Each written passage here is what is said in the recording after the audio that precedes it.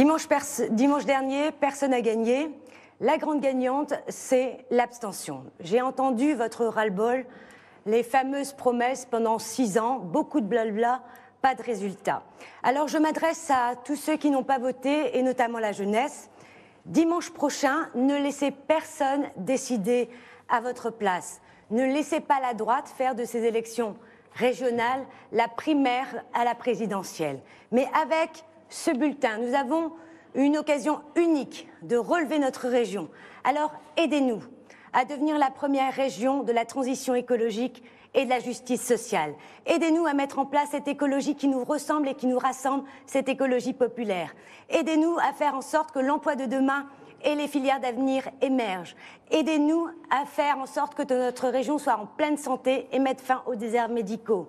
Aidez-nous à stopper les pesticides et faire en sorte que l'alimentation de nos enfants soit saine.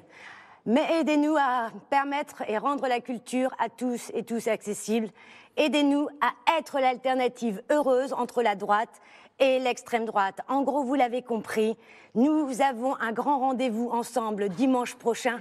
Nous devons créer la surprise. Alors, allez voter et je compte sur vous.